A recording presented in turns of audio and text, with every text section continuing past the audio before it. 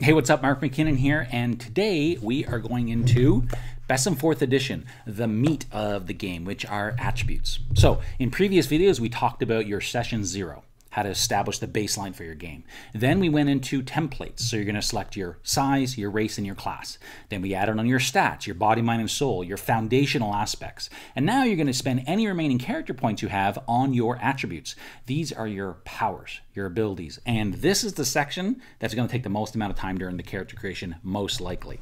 It's also a great opportunity for you to understand some of the things you might have chosen in your templates. You didn't quite get what this particular thing did that you chose a part of your, your your dwarf or maybe part of your alien gray species, and you didn't really know what they do, this is the section that explains them all. So that's chapter 70 or chapter 5, page 75. Attributes are described in levels.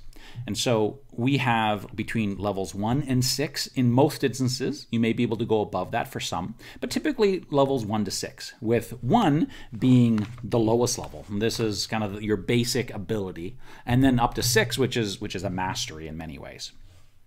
In addition to your actual levels, there's something called enhancements and limiters, which change your levels to, into an effective level and I'm not going to go into great detail right now, I want to cover that a little bit later, but just to give you an idea, is if you have a, an attribute like flying, and your flying attribute does a certain thing, you might have it at level 3.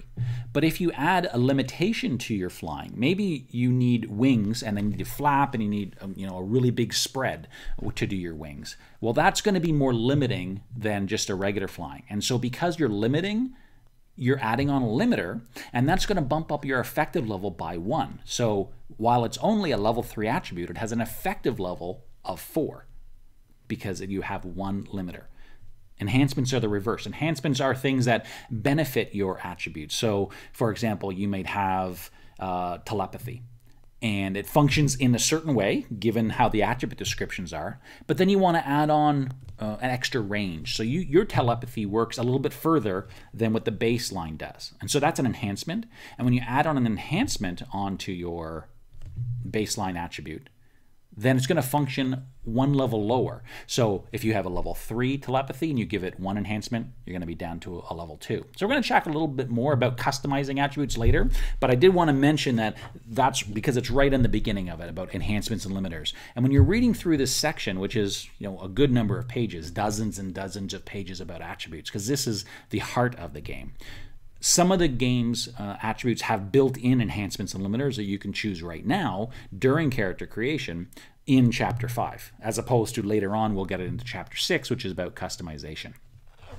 So when you're looking at attributes, there's several different things you have to consider. One is how many character points do you have? So in session two, you were given a certain number of character points, let's say 100, and then you spent a certain number on a race template, maybe, or a class template, or maybe both. And then you also add on stats on top of there. So you have to look and say, well, how many of those 100 points do I have left? Because that's the amount of points you have to spend on your attributes section. Now, if you want to spend more than that, then you're either going to have to reduce something earlier on, maybe bringing down your mind stat. That you don't, well, I don't really need a 10. Maybe I can go down to an 8, and that'll free up four extra points that you can spend on attributes. Or rather than reducing something you've done in the past, what you might want to do is later on in another chapter add on some defects. And these are going to be disadvantages that your character goes through, and that'll give you some bonus points back that you can then spend on the attributes. So on chap page 77, this is the table that outlines every single attribute, and it also includes a handy reference of the page number as well as the cost per level. So the way attributes work, as I mentioned earlier, that they're done in levels. So say level 3 or level 4. Some attributes only cost 1 point per level, where some really powerful ones might be as high as 10 points per level. So you what you do is you take the level, multiply it by the cost per level, and that'll give you the total number of points you're going to be spending on that attribute. You also need to keep in mind, as well as established during the first video we talked about, back in session zero, and that's about benchmarks. So you can't decide, well, you're playing really low level characters, but I'm going to assign level 6 in this particular attribute because that is outside the benchmark range. If you do want to go outside, you have to get permission, of course, by your game master, which is why creating a character in that group that we talked about in the first video is really important. Because if you can create a character, go through these attributes, and have other players there to either, you know, to assist you, as well as making sure that you shine and that your character is somewhat unique. Because what you don't want to do is, of course, create a game where every single person has healing abilities. Unless, of course, that's the focus. Maybe you're running a, a medical style game. But typically, if you want to shine as the medic of the game, you don't want to make sure that uh, everyone else is a medic as well. So, collectively deciding where your attributes are going to be uh, is a really great way to do character creation. Each attribute entry has several things. First, it'll the attribute name, so for absorption or maybe alternate form. And then it'll give the cost per level. It'll also give something called the relevant stat. So you don't need to know a lot about how the game mechanics work, but relevant stats are stats that you're going to be rolling against whenever you want to use that particular attribute. For example, absorption. Absorption is a way to absorb kinetic energy, and what that'll do is that will reduce the number of damage you take. So it's not armor, what you're actually doing is absorbing uh, the, the damage itself. So if you need to make a roll, there's a relevant stat entry here of body. So the GM might require you to make a body stat roll in order for the absorption to uh, act in a particular combat setting, for example. So not every attribute has uh, a an irrelevant stat. For example, if you have uh, heightened combat abilities, a combat mastery attribute, then maybe you don't need to to ever make a stat roll because it's just something that affects your ability overall. So the relevant stat is important for some, and then we give attribute description, and then some of the attributes have limiters and enhancements, as I mentioned earlier. With this list, you're going to want to go through and start making a master list to start with. My advice would be pie in the sky. You know, what are all the cool things you'd want to have? You don't have to come up with the, the levels. Just read through and say, oh, yeah, it'd be really great to be able to uh, maybe see into the future. So I'm going to write down the cognition attribute.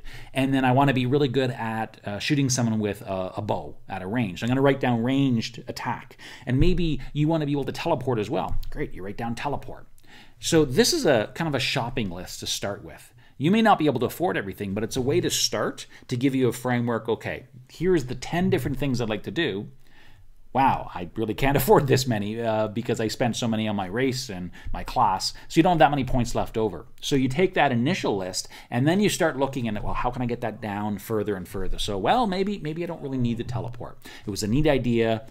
I can work my character concept around that. And so you start whittling it down further and further until you finally are going to end up getting uh, a number of levels of certain attributes, which will equal a certain number of points.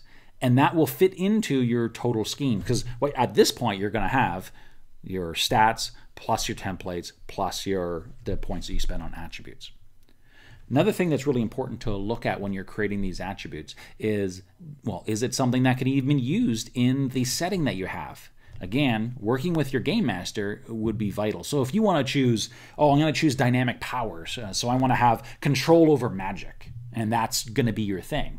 Well, if magic doesn't exist in your setting, maybe it's a high tech world and magic is not real. So you really can't choose that. And so it's going to be so important to work with your players and the game master to choose the attributes that are appropriate for what you want.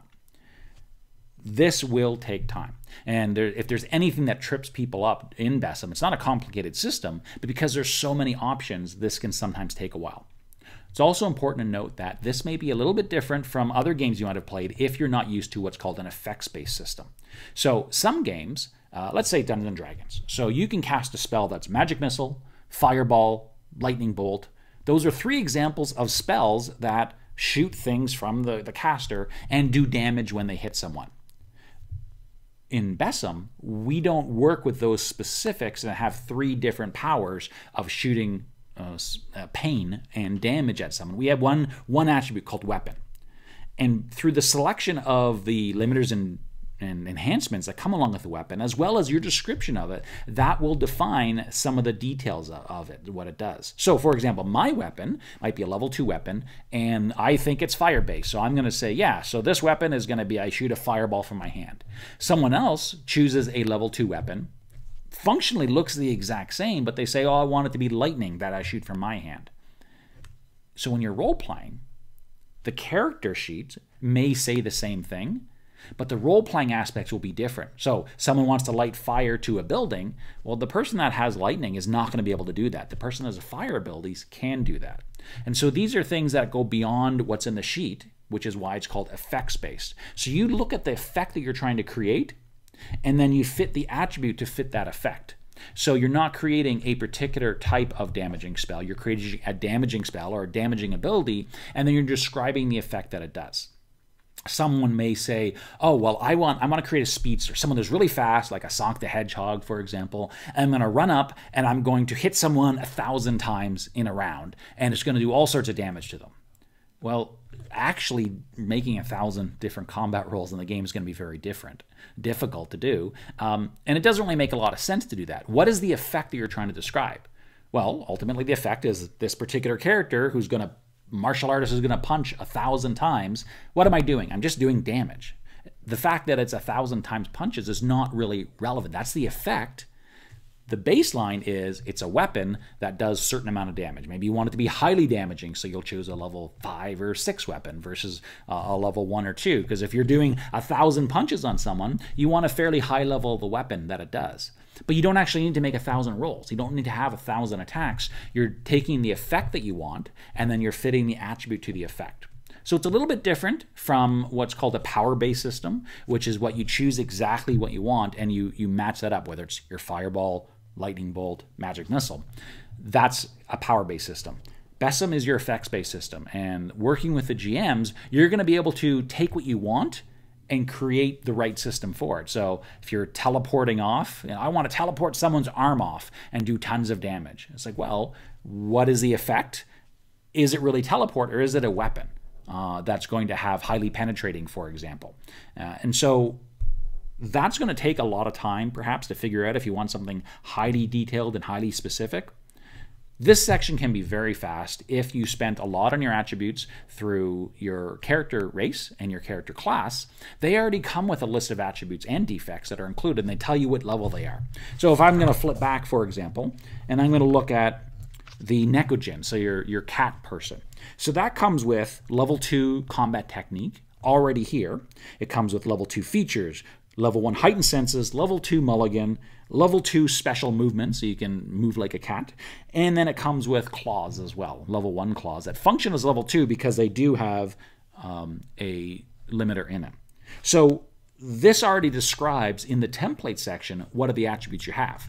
If you then, in the attributes chapter, you're going to be adding on, so you're going to take your maybe your level one heightened senses hearing. Well, maybe your Nekojin also has a great sense of smell, or also has a, a great sense of uh, taste, for example. So you can bump that level one to two or three, and you're just paying the difference because when you acquired the Nekojin template, which costs 10 points, you've already got that baseline in there.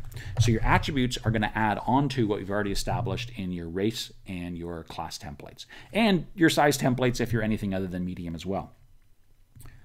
So take some time with this, read through the chapter, chapter 5. You're going to really enjoy going through this. And if you have any questions, talk to the other players and talk to the game master about what works in that setting, what works compared to what the other players are doing that maybe give you that, that little bit of, of spotlight that's a little different from everybody else. And then once you're finished with the attributes, you're done your character with one exception, and that's the defects. If you want to get a few more points, and, and who doesn't like more points, you can always assign some defects. We're going to be covering that in the next video. So enjoy your character creation. Thanks for watching.